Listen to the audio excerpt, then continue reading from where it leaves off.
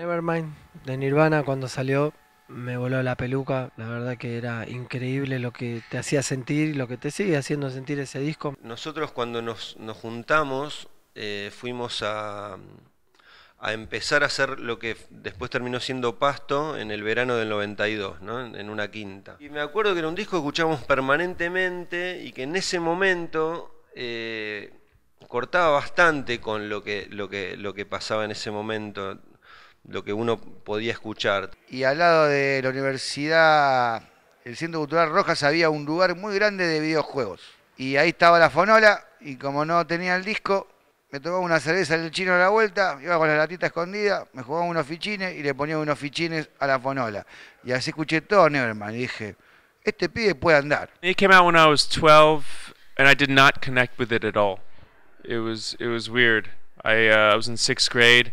I don't know why. I just didn't it didn't register, and then later on, it really clicked. Con mis amigos que luego fueron parte de, de, de músicos de anestesia y luego de Fan People, nos fuimos a, a Ubatuba, Brasil. Había un festival que se llama Hollywood Rock.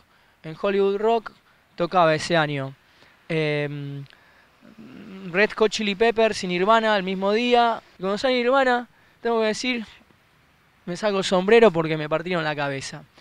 Em, fue buenísimo en vivo, fue increíble, me partieron la cabeza me tuve que callar eh, todo lo que no, porque la verdad que eran increíbles en vivo, eran muy, muy bestiales. Me acuerdo exactamente el día que eh, mi gran amigo del barrio, Andrés Bravo, alias Poroto, este, me dijo, él me decía caníbal, vení caníbal, vení, mira boludo, mira lo que tengo, mira lo que tengo.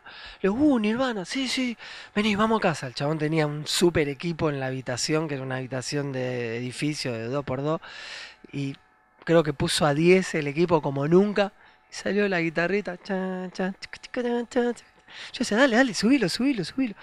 Cuando explota la banda, salió, pero destruyó los parlantes, se armó un poco instantáneamente entre los dos en esa habitación, que tuvo que venir Matilde, la madre ahí, que en paz descanse, a golpearnos la puerta. ¿Qué están haciendo con ese ruido? Baja el volumen.